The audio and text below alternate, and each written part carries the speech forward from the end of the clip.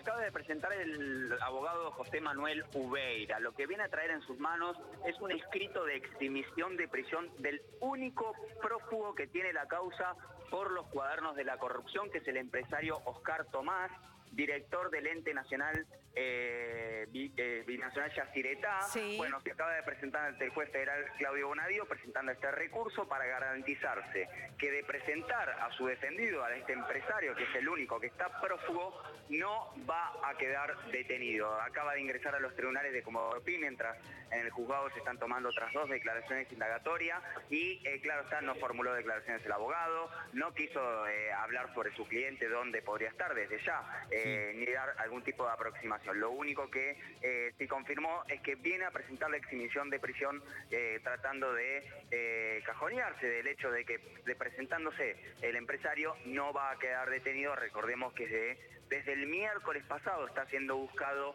y hasta el momento no hay negociación viable sobre su presentación en el juzgado. A ver, mira, ¿quién es Oscar Tomás? Acá está. Ahí lo tenemos, lo vamos a repasar. Eh, Sergio, por favor, vos aportanos información, que sos el que está ahí y estás viviendo todo el tema en directo. El 12 de agosto del 2009, Oscar Tomás se acercó eh, a Juncal 1740 a la ventanilla del Toyota Corolla y le entregó a Roberto Barata un millón cien mil dólares. Esto figura en el cuaderno número uno. Estamos hablando del domicilio Juncal 740, tengo entendido que es la zona donde está el departamento de los Kirchner, ¿no? Que era uno de los lugares fijos donde siempre hacía el recorrido centeno para repartir los bolsos con dinero. ¿Cuál es la cuestión? Que acá hay una cuestión internacional, Sergio. Ente binacional Yacyretá.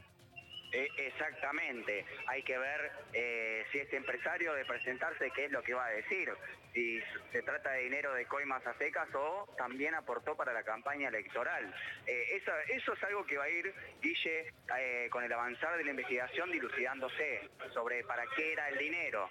No cambia la imputación, no cambia la acusación, pero claro está, lo que sucede es conocer detalles de la investigación, ¿no? Sergio.